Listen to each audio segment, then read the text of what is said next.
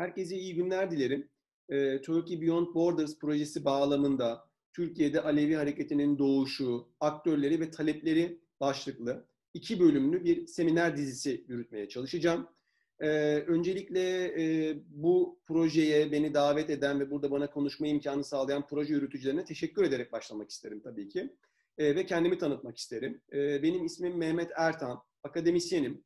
Düzce Üniversitesi Siyasal Bilgiler Fakültesi'nde e, siyaset bilimi ve kamu yönetimi bölümünde doktor öğretim üyesiyim. E, yani ben en genel anlamıyla siyaset bilimi ve Türkiye siyasal hayata çalışıyorum. Ama bunu birazcık daha spesifikleştirmek gerekirse de e, Türkiye'de Alevi hareketi, genel anlamıyla kimlik siyasetleri ve yurttaşlık çalışmaları alanında akademik faaliyetlerimi yürütüyorum. E, bugün burada da e, dediğim gibi Türkiye'de Alevi hareketinin genel fotoğrafını çekecek olan e, Türkiye'de Alevi hareketi e, doğuşu, e, aktörleri ve talepleri başlıklı bir e, sunumla, bir seminerle yürütmeye çalışacağım. Şimdi bu seminer iki bölümden oluşacak demiştik. İlk bölümünde birazcık daha Alevi hareketinin 1990'lı yıllarda doğuşu, bu doğuşa imkan sağlayan siyasetin kültürel dönüşüm süreci, Alevi hareketinin ortaya çıkması derken neyi kastediyoruz? Biraz bunlardan bahsedeceğim. E, ikinci bölümde ise bu Alevi hareketinin temel aktörleri olarak nitelendirebileceğimiz dernekler, bu derneklerin Aleviliği nasıl tanımladıkları, e, siyasal sistemden ne gibi talepleri bulunduğu noktaları üzerinde duracağım. E, şimdi bu haliyle aslında seminer birazcık daha 1990'lı yıllar ve 2000'li yılların ilk yarısında Alevi hareketinin genel fotoğrafını çekiyormuş gibi gözükebilir ama aslında e, ortaya koyduğu fotoğraf e, Alevi hareketinin bugünkü genel görüntüsünü, genel yörüngesini açıklamak açısından da e, hala geçerli. Ama buna ek olarak da e, ben biraz yine seminerin ikinci kısmında e, AKP hükümeti hükümetiyle e, Alevi dernekleri arasında yürütülen Alevi çalıştayları e, ve Alevi açılımı sürecinden de biraz bahsedeceğim. E, bu hem e, aslında e, buraya kadar anlatacağımız e, Alevi derneklerinin genel pozisyonlarının güncel siyasetle daha fazla bağlanmasını beraberinde getirecek e, ve biraz Alevi hareketlerinin devlete yönelik temel taleplerinin neler olduğunu ve devlet ilişkilerinin ne olduğunu da aslında biraz daha e, ortaya koymamızı sağlayacak. E, şimdi e, tabii ki bu Alevi hareketinin doğuşunu nitelendirdiğimizde 1990'lı yıllardan e, bu hareketin doğuşunu başlatıyoruz. Ama neden e, 1990'lı yılları burada başlangıç noktası olarak ele alıyoruz. Belki biraz bunun üzerine konuşmak gerekebilir. Çünkü e, aslında Alevilik için bir diğer önemli noktada 1950'ler ve 60'lar. Çünkü bu zamana kadar e, daha çok e, kırsal e, hayatın içerisinde dışa kapalı bir toplumsallıkta Alevi dedelerinin dini ve sosyal otoritesi altında gerçekleşen e, bir geleneksel Alevilikten bahsediyoruz ve bu geleneksel Alevilik özellikle de kentleşme süreciyle beraber çözülmeye başlıyor, erozyona uğramaya başlıyor. E, Aleviler kentler içerisinde görünür olmaya başlıyorlar. E, biz 1960'lara baktığımızda Ehli Beyit gibi, Cem gibi çıkarılmaya çalışılan Alevi dergilerinin varlığını görüyoruz. Hatta 1960-1980 yılları arasında faaliyet gösteren bir Birlik Partisi, Türkiye Birlik Partisi deneyimi var. Ee, ama biz buna rağmen Alevi hareketinin başlangıç noktasını yine de 1990'lar üzerinden tarifliyoruz. E, bunun nedeni şu, e, 1960'lı ve 70'li yıllarda görünür olmaya başlayan Aleviler var. E, ama e, Aleviler kamusal hayat içerisinde Alevi kimlikleriyle görünür olmuyorlar. Veya Aleviler bu dönem içerisinde bağımsız bir kimlik siyasetine referansla politikleşmiyorlar. 1960-1980 yıllar arasındaki dönemde Aleviler genellikle sosyal demokrat veya sosyalist e, sol hareketler üzerinden politikleşiyorlar. E, yani dolayısıyla aslında e, Alevi kimliğine referansla siyaset sahnesinde var olan bağımsız bir sosyal hareketten bahsetmekten ziyade e, daha çok Alevi kimlikleri üzerinden sol hareketlerle ilişkilenen e, Alevilerden bahsedebiliyoruz. Ben bunu e, aslında e, örtük politikleşme olarak nitelendiriyorum. Örtük politikleşme diyorum çünkü 1960-1980 yılları arasındaki dönemde e, politikleşen bir Alevi kimliğinden e, ve bu kimlik üzerinden ortaya çıkan bir sosyal hareketten bahsedemesek de e, Alevi kimliği üzerinden sol hareketlerle e, daha rahat irtibat kurabilen bireysel Alevilerden bahsediyoruz. Yani politikleşen bir kimlik olarak Alevilik değil, bireysel anlamda Aleviler olduğu için e, bu politikleşmeyi örtük politikleşme olarak nitelendirebilmemiz mümkün. Ama bizim e, bir sosyal hareket olarak bir Alevi hareketinden bahset, bahsetmemiz gerekiyorsa eğer bir Alevi kimlik hareketinin ortaya çıkışı ancak 1990'lı yıllarda mümkün olacak. E, bu aslında bir boyutuyla da e, bir kimliğe e, kendisine referansla politikleşmesini sağlayabilecek bir e, siyaset dilinin 1990'larda ortaya çıkmasıyla yani siyasetin kültürel dönüşümü olarak nitelendirebileceğimiz sürecin 1990'lı yıllarda yaşanmasıyla ilgili. E, şimdi siyasetin kültürel dönüşümü dediğimiz süreci ben e, dört ayak üzerinden analiz etmek gerektiğini düşünüyorum. E, bu dört ayaktan bir tanesi küreselleşme, bir tanesi neoliberalizm, e, bir tanesi Sovyetler Birliği'nin dağılması, sonuncusu ise düşünsel düzeyde postmodernizm tartışmaları. E, şimdi küreselleşme yani en basit tabiriyle tabii ki e, ulusal ve uluslararası sınırlar arasındaki ayrımın giderek bulanıklaşmaya başlaması demek. E, bu ulus devletlerin egemenlik yetkilerini tartışmaya açıyor ve ulus devletlerin meşruiyetini aldığı e, bir toplumsal birim olarak ulusun da e, ulus altı diye nitelendirebileceğimiz etnik, dinsel ve yerel kimlikler tarafından sorgulanmaya başlanmasını da beraberinde getiriyor ve kimlik siyasetlerine uygun bir e, siyasallığın, toplumsallığın ortaya çıkmasının kapısını aralıyor. E, neoliberalizm ve neoliberalizmle bağlantılı olarak post-Fordizmi düşündüğümüzde e, post-Fordizm bir yandan e, üretimi küçük envanterlere bölüyor. Ama bir diğer taraftan da üretimi ulus aşırı hale getiriyor. Ulusal sınırların dışına çıkarıyor ve bütün dünyayı tek bir üretim birimi haline getiriyor. E, dolayısıyla bu e, post-Fordist sürecin e, iki önemli etkisi oluyor. Bunlardan bir tanesi emeği güvencesizleştiriyor ve böylece e, sınıfın e, siyasal gücünü zayıflatıyor. E, ikincisi üretimi ulus aşırı hale getiriyor. Dolayısıyla da e, yine başka bir e, siyasal birim olarak, toplumsal birim olarak da ulusun e, siyasal gücünü zayıflatıyor. E, Sovyetler Birliği'nin dağılması ise e, sınıf kavramının siyasal geçerliliğine ilişkin en azından 1990'larda önemli tartışmalar doğuruyor. Şimdi bu e, sosyal, ekonomik ve siyasal süreçlere ek olarak da 1990'lı yıllarda postmodernizm tartışmaları yani 1980'lerde ve 90'larda postmodernizm tartışmaları özellikle düşünsel ve felsefi tartışmaları yönlendirmeye başlıyor. Postmodernizm aslında dünyayı daha çok böyle bir belirsizlik e, ve farklılıklar ekseni üzerinden okuma yanlısı. E, bunu yaparken de özellikle e, kendi tabiriyle, postmodernizmin tabiriyle e, büyük anlatıların veya evrensel teorilerin reddini e, aslında savunuyor.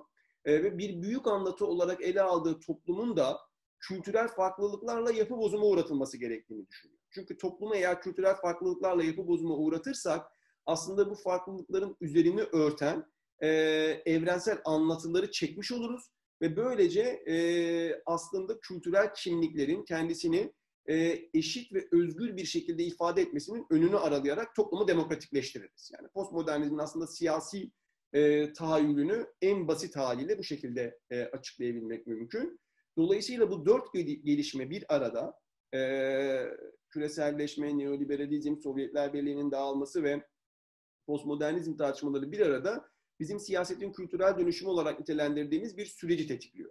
Siyasetin kültürel dönüşümü diye nitelendirdiğimiz süreç aslında siyasal olanın ekonomi politik alan yerine kültürel alan üzerinden tanımlanmaya başlaması, bu bağlamda siyasal karar alma süreçlerinde e, sınıf gibi, ulus gibi makro kavramların yerine kimlik gibi daha mikro ve farklılaştırıcı kavramların daha işlevsel olmaya başlaması. Dolayısıyla da eşitlik ve özgürlük taleplerinin, ekonomik bölüşüm politikalarının yanı sıra hatta onlardan daha fazla kültürel tanınma talepleri ve politikaları üzerinden ortaya konmasını beraberinde getiriyor. E, dolayısıyla siyasetin kültürel dönüşüm süreci en basit tabiriyle kültürel kimliklerin siyasal karar alma süreçleri içerisindeki e, etkisini ve rolünü arttırıyor. Bu süreç tabii ki bütün dünyada olduğu gibi Türkiye'de de bir karşılık buluyor. 1990'lı yıllarda Alevi hareketinin bağımsız bir kimlik siyasetine kaynaklık edecek şekilde politikleşmeye başlaması bizzat bu siyasetin kültürel dönüşüm sürecinin bir sonucu olarak okunabilir. Ee, benzer bir süreç sadece Alevi hareketiyle sınırlı değil Türkiye'de. Ee, Kürt sorununun 1990'larda aldığı seyir, veya siyasal İslam'ın 1990'lardaki yükselişi yine siyasetin kültürel dönüşüm sürecinin Türkiye'deki etkileri e, olarak okunabilir. E, burada e, aslında bir e, küçük metodolojik uyarı da yapmak isterim. E, genellikle Türkiye'de e, siyasal İslam ve Alevi hareketi bir arada değerlendirilir ve aslında Alevi hareketinin siyasal İslam'ın yükselişine karşı bir tepki olduğu belirtilir. Şimdi tabii ki bütün sosyal hareketler e, birbirleriyle etkileşerek e, ve birbirleriyle karşılıklı etkileşim içerisinde ilerliyorlar. Bu yatsınabilecek bir şey değil. E, ama e, Türkiye'de Alevi hareketinin varlığını siyasal İslam'a karşı basit bir tepki olarak okumanın ben yanlış olduğunu, yanıltıcı olduğunu düşünüyorum. Tam tersine siyasal İslam'ı da, e, Alevi hareketini de, Kürt meselesini de aslında 1990'larda siyasetin değişen bu kültürel dönüşüm süreciyle beraber okumak ve aslında bunları aynı sürecin bir parçası olarak değerlendirmenin daha faydalı olacağı kanaatindeyim. Dolayısıyla e, Türkiye'de Alevi hareketini değerlendirirken siyasal İslam'la olan ilişkisini basit bir etki tepki mekanizmasından ziyade çok boyutlu e, bir e, analiz bilimi içerisinde değerlendirmenin daha faydalı olacağı inancındayım. E, bu e, küçük metodolojik uyarıdan sonra biraz Türkiye'de 1990'larda ee, Alevi hareketinin bir sosyal, Alevi kimliğinin bir sosyal harekete kaynaklık etmesi ne demektir ve, onun, ve bunun görünümleri neler olmuştur? Biraz belki bunlardan bahsedebiliriz. Şimdi e, literatürde yani Aleviliği konu alan literatürde çok sık kullanılan bir kavram var. Alevi uyanışı kavramı. E, Alevi uyanışı kavramı kullanılırken de bu kavramın aslında böyle birbiriyle beraber ilerleyen beş önemli boyutu olduğundan bahsedilir. Bunlardan bir tanesi 1990'lı yıllarda Aleviliği konu alan çok sayıda Alevi dergisinin çıkarılması, bunlara ek olarak da Alevi araştırmacı yazarlar tarafından kaleme alınan yüzlerce kitabın basılmış olmasıdır 1990'larda. Yani Aleviliğe ilişkin bir yayın patlaması yaşanır. Birinci boyutu budur. İkinci bir boyut ana akım medyada, yani bu yazılı medyada olabilir, görsel medyada olabilir. ana akım medyada Aleviliğe ilişkin çok sayıda yazı dizisi ve haber görünür olmaya başlıyor 1990'lı yıllardan itibaren. Ee, üçüncü bir nokta, e, Pir Sultan Abdal Hacı Bektaş Veli, Abdal Musa gibi Alevi geleneği içerisinde önemli bir yere sahip olan Alevi ulularını, Alevi büyüklerini anmak için e, törenler, anma törenleri ve festivaller düzenleniyor ve bunlar Alevilerin e, görünürlüğünü arttırıyor Alevi olmayan kamuoyu nezdinde de. E, dördüncü önemli nokta e, aslında e, özellikle Türkiye'de bu e, özel basının gelişmeye başlamasıyla beraber de çok sayıda Alevi radyo istasyonu açılmaya başlanıyor. İşte Cem Radyo gibi, Yön Radyo gibi, Radyo Barış gibi e, çok sayıda Alevi radyosu açılmaya başlanıyor. Ve beşinci önemli noktada e, Alevilerin taleplerini dillendirebilmek ve haklarını savunabilmek amacıyla sivil toplum kuruluşları yani Alevi dernekleri kurulmaya başlanıyor. Şimdi bütün bu boyutlarıyla değerlendirdiğimizde aslında bizim Alevi uyanışı diye nitelendirdiğimiz süreç Alevilerin kamusal alanda giderek artan bir istek ve hevesle kendi Alevi kimlikleriyle var olmaya çalışmaları demek. İşte 1990'larda yeni olan şey bu. E, dolayısıyla da aslında biz 1990'lı yıllarda e, kaynağını Alevi kimliğinden alan bağımsız bir sosyal hareketin, bir Alevi hareketinin ortaya çıkmaya başladığını görüyoruz. Şimdi ben burada biraz bu e, Alevi hareketinin görünümleri üzerine aslında biraz daha e, konuşmak isterim. Özellikle bu Alevi uyanışı diye nitelendirdiğimiz sürecin unsurları hakkında belki biraz daha konuşmak faydalı olabilir. E, özellikle bunlardan e, bizim yayın patlaması olarak nitelendirdiğimiz nokta önemli. E, çünkü 1990'lara kadar daha çok yani tabii ki yazılı kaynakları var ama daha çok sözlü kültür üzerine bina edilmiş olan bir gelenek 1990'lı yıllarda yazıya aktarılmaya başladı. E, ve bu e, yayınlarda, gerek dergilerde, gerek kitaplarda Alevilik tanımlanmaya, Aleviliğin tarihi yazılmaya, Alevilerin e, güncel taleplerinin neler olduğu formüle edilmeye çalışılıyor. E, dolayısıyla e, sözlü bir kültür yazılı alana aktarılmaya, dolayısıyla e, çok daha fazla kamusallaşmaya başlıyor. E, işin ikinci önemli yanı bu yayın patlamasına ilişkin, e, bu dergileri çıkaranlar da, e, kitapları yazanlar da e, Alevi araştırmacı yazarlar. Yani yeni bir kategoriden artık biz bahsetmeye başlıyoruz. Alevi araştırmacı yazarlar diye nitelendirdiğimiz aslında kategori 1970'li yıllarda daha çok sol siyasi hareketler üzerinden politikleşen, buradan yola çıkan bir sosyal sermayeleri olan, 1990'lı yıllarda siyasetin kültürel dönüşüm sürecine paralel bir şekilde aslında kendi Alevi kimliklerini keşfeden e, ve siyasal süreçlere kendi Alevi kimlikleriyle katılmaya başlayan aydınlar. Aslında bir anlamda Alevi hareketinin organik aydınlarından bahsediyoruz. E, ve bu araştırmacı yazarlar kaleme aldıkları Aleviliği konu edinen kitaplarla e, hem Aleviliğin kamusal görünürlüğünü arttırıyorlar hem de Aleviliğe ilişkin üretilen e, bilgiyi e, kodifiye ediyorlar. E, tabii ki bu çalışmaların aslında akademik yetkinlikleri e, önemli bir soru işareti, tartışmaya açık. E, ama bununla beraber Alevi kimliğinin kamusallaşmasında oynadıkları rol tartışmasız. E, kimlerden bahsediyoruz burada Alevi araştırmacı yazarlar derken? İşte Cemal Şener gibi, Rıza Zellut gibi, Nejat Birdoğan, Lütfi Kaleli, e, Baki Öz gibi isimlerden bahsediyoruz. E, belki yine Alevi uyanışı sürecinin ve Alevi hareketinin önemli boyutlarından bir tanesi olarak e, Alevi büyüklerini anmak için gerçekleştirilen festivallerden, anma törenlerinden bahsedebiliriz. E, tabii burada ilk akla gelen Hacı Bektaş Veli, Hacı Bektaş Veli anma törenleri. E, bu törenler aslında şu açıdan önemli. Bir, Aleviliğin görünürlüğünü arttırıyor. E, ve üstelik Aleviliğin tarihine referansla yani Alevi geleneğinin, kültürünün e, önemli sayılan kişileri üzerinden bu görünürlüğü arttırıyor. E, ama daha da önemlisi aslında Hobsbawm'ın o bahsettiği meşhur icat edilen gelenekler gibi e, Aleviler arasındaki dayanışma bağını güçlendiriyor. Yani Türkiye'nin hatta dünyanın farklı yerlerinden Aleviler daha önce hiç görmedikleri diğer Alevilerle beraber bir araya geliyorlar ve aslında hayali cemaat ete kemiğe bürünüyor. Ee, yani kendilerinin çok daha büyük bir komünitenin, çok daha büyük bir topluluğun parçası olduğunu e, bizzat bu törenlerle Aleviler yeniden keşfediyorlar.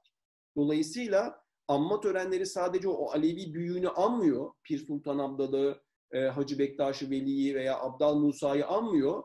Ama bunun ötesinde Alevi topluluğunu, Alevi komünitesini yeniden kuruyor, yeniden üretiyor. Yani bu açıdan da bir öneme sahipler. Şimdi dolayısıyla biz 1990'lı yıllarda aslında bir Alevi hareketinin şekillendiğini ve doğduğunu görüyoruz. Ama e, Alevi hareketi hakkında konuşacaksak eğer e, burada tabii ki 1990'lı yıllar bağlamında e, adını anmadan, zikretmeden e, geçemeyeceğimiz başka bir süreç daha var. O da 1990'lı yıllarda Alevilerin maruz kaldığı katliamlar. E, 1993 yılında Madımak, 1995 yılında da Gazi katliamları e, Alevi hareketinin yani zaten doğmuş, ortaya çıkmış olan Alevi hareketinin e, giderek büyümesini ve ivmelenmesini beraberinde getirecek. E, Madımak katliamı e, 2 Temmuz 1993 tarihinde yaşanıyor. E, Pir Sultan Abdal Kültür Derneği tarafından Pir Sultan Abdal'ı anmak için Sivas'ta ve yine Sivas'ın yani Sivas il merkezinde ve Sivas'ın bir köyünde Banaz'da e, düzenlenmesi planlanan bir festival aslında bu. E, ancak festivalin ikinci gününde 2 Temmuz 1993 tarihinde e, katılımcıların e, kaldığı, konakladığı Madımak Oteli e, Cuma namazından çıkan bir grup saldırgan tarafından ateşe veriliyor. E, ve e, bu saldırıda 33'ü festival katılımcısı, e, iki tanesi de otel çalışanı e, olmak üzere 35 kişi hayatını kaybediyor. Saldırganlardan da iki kişi hayatını kaybediyor. E, tabii Madımak katliamının e, bir boyutuyla e, güvenlik güçlerinin e, burada çok yetersiz ve pasif kalması ve saldırının adeta e, Türkiye'nin gözü önünde canlı yayında gerçekleşiyor olması e, ve yine bu saldırıda işte Mulis Akarsu, Nesimi Çimen, Hasret Gültekin gibi önemli Alevi ozanlarının veya e, Behçet Aysan, Metin Altıok, Asım Bezirci gibi önemli aydınların hayatını kaybetmesi de e, yani hem saldırının vahşeti hem de saldırıda hayatını kaybedenlerin kimlikleri e, tabii ki katliamın yarattığı travmanın çok daha derinleşmesini beraberinde getiriyor. E, Gazi katliamına baktığımızda 1995 yılında yaşanıyor. 12-16 Mart 1995 tarihleri arasında gerçekleşiyor. E, aslında e, yani Gazi Mahallesi İstanbul'da Gazi Osman Paşa'da e, Alevilerin yoğun olarak yaşadığı ve muhalif kimliğiyle bilinen bir mahalle. E, bu mahallede 12 Mart akşamı e, bir kahvehane taranıyor ve bir kişi hayatını kaybediyor. E, Gazi mahallesinde yaşayanlar bu saldırıyı protesto etmek için e, mahalle karakoluna yürümek istiyorlar ama polis kalabalığı dağıtıyor. Kalabalık cemevine çekiliyor Gazi mahallesindeki. E, sabaha doğru e, bu defa polis panzerleri cemevine bir saldırı gerçekleştiriyor ve bir kişi daha hayatını kaybediyor. E, aslında e, ilk KGN tarandığında Gazi Mahallesi'nde yaşayanlar sürecin e, karakolun ihmalinden kaynaklandığını düşünüyorlar ama Cemevi'ne gerçekleşen saldırının ardından bunun bir ihmalin ötesinde organize bir saldırı olduğuna dair bir kanaat oluşuyor Gazi Mahallesi'nde. 13 Mart günü saldırıyı protesto etmek için İstanbul'un farklı mahallelerinden gelen katılımcılarla beraber 10 bin kişilik bir kalabalık, yaklaşık 10 bin kişilik bir kalabalık karakola yürüyor. Ve polisin açtığı ateş sonucunda 15 kadar kişinin hayatını kaybettiği tahmin ediliyor. Dolayısıyla bu Gazi'de yaşanan sürecin çok daha büyümesini beraberinde getiriyor. Hatta İstanbul'da Ümraniye'de bir başka mahalle, 1 Mayıs mahallesine de sıçrıyor olaylar. İstanbul Valiliği her iki mahallede sıkı yönetim ilan ediliyor, ediyor ve 16 Mart'ta olaylar kontrol altına alındığında 21 kişinin hayatını kaybettiğini ve yüzlerce kişinin de yaralandığını görüyoruz. Şimdi hem Madımak hem Gazi zaten travmatik süreçler ama bu travmatik süreçlerin ağırlığını daha da arttıran bir takım gelişmeler var. Ee, bunlardan bir tanesi katliamlar gerçekleştikten sonra bunun kamuoyunda tartışılma biçimi. Ee, Madımak katliamı kamuoyunda ağır tarih söylemi altında tartışılıyor. Ee, şu, özellikle tartışma şu boyuta kilitleniyor kamuoyunda. Festivalin katılımcılarından bir tanesi de Aziz Nesin. Aziz Nesin o sırada Salman Rushdie'nin Şeytan Ayetleri kitabını çevirmiş durumda. ve şu söyleniyor, e, kendisi Alevi olmayan, e, hatta ateist olduğunu deklar eden Aziz Nesin neden festivale çağrıldı? Çünkü Aziz Nesin'in yaptığı konuşmalar e, kitleleri tahrik etti ve e, kitleler bu ağır tahrik altında katliamı gerçekleştirdiler. Kamuoyunda Madımak katliamının tartışılma yöntemi, biçimi bu. Gazi ise aslında Türkiye'yi mezhep çatışmaları üzerinden karıştırmak isteyen dış güçlerin bir provokasyon olarak nitelendiriliyor kamuoyunda ve Aleviler itidale davet ediliyor. E, şimdi kamuoyunda tartışılma biçimlerinin dışında e, hukuki mekanizmalar da Alevileri e, aslında hayal kırıklığına uğratıyor. Çünkü gerek Madımak gerekse Gazi katliamlarının failleri hak ettikleri cezalara çarptırılmıyorlar mahkeme süreçlerinde. E, üçüncü bir nokta, bu katliamların her ikisi de gerçekleştiği sırada Alevilerin aslında ağırlıklı olarak desteklediği bir siyasi parti iktidarın küçük ortağı durumunda, iktidar partisi durumunda. Madımak katliamı sırasında SHP, sonra partinin adı değişiyor, CHP oluyor. Ee, ama iktidarda olan SHP, CHP'nin e, aslında bu e, katliamlar karşısındaki pasif tutumu Alevilerin e, hayal kırıklığını ve yalnızlık hissiyatını pekiştiriyor. Ee, e, bu koşullar altında mesela e, burada aslında e, belki o dönemin haleti ruhiyesini çok net bir şekilde dile getirmesi bakımından e, söyleyebilmem mümkün. E, 1900 e, Madımak katliamı gerçekleştikten sonra e, Pir Sultan Abdal Kültür Derneği'nin o dönemdeki genel başkanı Murtaza Demir, e, Madımak katliamında hayatını kaybedenlerin cenaze töreni sırasında şöyle bir konuşma yapıyor. E, biz Sivas'a türkü söylemeye gitmiştik. Sivas'ta türkü söylemenin suç olduğunu bilmiyorduk. Biz devlet var zannediyorduk. Oy verdiğimiz parti var diyorduk. Milletvekillerimiz ve bakanlarımız var zannediyorduk. Halbuki kendimizi savunacak bir değneğimiz bile yokmuş. Şimdi aslında bu açıklama e, Alevilerin e, Madıma katliamı ve Gazi katliamları karşısında içerisinde bulunduğu hayal kırıklığını ve yalnızlık hissiyatını son derece net bir şekilde ortaya koyuyor. Şimdi travma e, sosyal hareketlerin ortaya çıkış süreçlerinde e, kısa vadede yıkıcı etkilere sahiptir ama uzun vadede bir değişimi tetikleyerek yeni bir toplumsallığın önünü açar. E, bu toplumsallığın gelişiminde ise maruz kalınan acının yarattığı kolektif bilincin önemli bir rolü vardır. Benzer bir şey Madımak ve Gazi katliamları için de söz konusu. Ee, özellikle Madımak katliamının ardından Aleviler artık sığınabilecekleri tek limanın Alevi kimliği olduğunu düşünmeye başlıyorlar. Ee, çünkü hem hukuk mekanizmasının hem kamuoyunun hem de siyasi partilerin kendilerini yalnız bıraktığını ve bu yalnızlık karşısında tek çözümün kendi Alevi kimliklerine sığınmaktan geçtiğine inanıyorlar. E, ve bu da e, Alevi hareketinin ivmelenmesini, büyümesini beraberinde getiriyor. E, bunu aslında şuradan takip edebilmemiz mümkün. E, Madımak katliamının ardından iki önemli Alevi derneğinin, Hacı Bektaş Veli Kültür Tanıtma Derneği'nin ve Pir Sultan Abdal Kültür Derneği'nin üye sayısı e, üç kattan fazla artıyor. Şube sayıları da benzer şekilde artıyor. Çünkü bu derneklere yönelik yoğun bir katılım talebi gerçekleşmeye başlıyor. E, Hacı Bektaş Veli anma törenlerine ertesi sene e, gerçekleşen katılım da çok e, dramatik şekilde yükseliyor. E, bu da aslında katliamların e, yarattığı dehşet ve bu dehşet karşısında Alevilerin kendilerini içerisinde buldukları yalnızlık ve hayal kırıklığının Alevileri giderek kendi kimliklerine daha fazla yönelttiğini ve dolayısıyla da e, Alevi hareketinin aslında e, ivmelenmesine, e, yükselişine e, bu katliamların e, yani belki doğru bir kelime olmayacak ama katkıda bulunduğunu bize gösteriyor. Ama e, ben burada e, şunu söyleyerek aslında ilk bölümü bitirmek isterim. E, katliamların Alevi hareketi üzerinde oynadığı rol, Alevi hareketinin imelenmesinin çok daha ötesinde. E, yani kısa vadede düşündüğümüzde evet Alevi hareketinin imelenmesini, büyümesini beraberinde getiriyor. Ama e, uzun vadede düşündüğümüzde e, aslında Alevi hareketinin politikleşme dinamiklerini ciddi anlamda etkiliyor. E, çünkü Alevi e, çünkü e, bunu belki şöyle formüle edebilmek mümkün.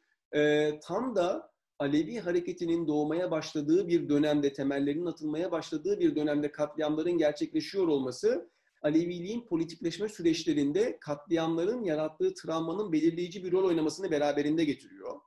E, dolayısıyla da e, aslında katliamlarla dolu travmatik bir tarihin hatırlanmasını ve katliamlar üzerine bina edilen kolektif bir hafızanın e, Alevi hareketinin ayrılmaz bir parçası olmasını beraberinde getiriyor.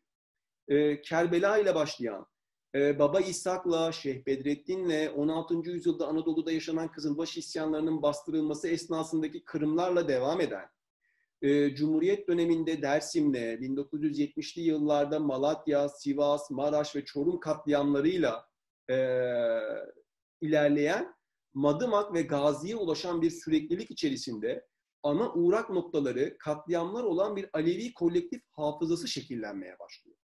Şimdi bu önemli çünkü Alevilerin kendi kültürel kimliklerini, e, kendi kültürel biricikliklerini vurgulayarak bu farklılığın tanınması ekseninde yürütülecek bir klasik kimlik siyasetinin Alevileri yeni saldırılara maruz bırakabileceğine dair bir endişeye kapılıyor Aleviler. Ki bu haksız bir endişe değil. Bundan dolayı da yeni katliamlara maruz kalmama çabası Alevi hareketini Alevi olanların Alevi olmayanlarla eşit düzlemde var olmasını sağlayacak evrensel kavramlar üzerinden politikleşmesini beraberinde getiriyor. Dolayısıyla ilginç bir şekilde Alevi hareketi yani şu bakımdan ilginç aslında siyasetin kültürel dönüşüm sürecinin bir ürünü olmakla beraber klasik bir kimlik siyaseti olarak gelişmiyor. Bunun yerine Alevilerin Alevi olmayanlarla eşit düzlemde var olmasını sağlayacak laiklik gibi, yurttaşlık gibi evrensel kavramlar üzerinden politikleşme eğilimi e, güdüyor. Dolayısıyla bugün biz Alevi hareketi dediğimizde Alevi hareketi aslında Alevilerin e, kültürel farklılıklarının tanınması üzerine kurulu bir siyasi hat yerine Alevilerin Alevi olmayanlarla eşit düzlemde var olmasını amaçlayan bir eşit yurttaşlık anlayışı üzerinden politikleşiyor. Ve bu politikleşme sürecinde özellikle yeni katliamlara maruz kalmamanın çok belirleyici bir rol oynadığını düşünüyorum. Yani katliamların Alevi hareketi üzerindeki etkisi, Alevilerin talepleri üzerindeki etkisi kısa vadede Alevi hareketini yükseltmenin ötesinde daha uzun vadede Alevi hareketinin siyasi dilini belirlemek oluyor. Şimdi bu tartışmayı belki kısaca burada bu şekilde sonlandırabilmek mümkün. bu haliyle aslında bu seminerin ilk bölümünde daha çok e, Alevi hareketi neden 1990'larda bir sosyal hareket olarak ortaya çıktı? E, ve bu sosyal hareket olarak ortaya çıkmasının temel görünümleri neler oldu? Biraz bunlar üzerine konuşmaya e, çalıştım. Seminerin ikinci kısmında ise bu Alevi hareketinin temel taşıyıcısı olarak değerlendirebileceğimiz Alevi dernekleri e, ve bu derneklerin talepleri, birbirleriyle kurduğu ilişkiler üzerine konuşmaya çalışıp e, daha sonrasında da e, Alevi e, açılımı süreci, Alevi çalıştayları süreciyle aslında Alevi hareketinin e, devletle kurduğu e, ilişki ve gerilim noktaları üzerine biraz değinmeye çalışacağım.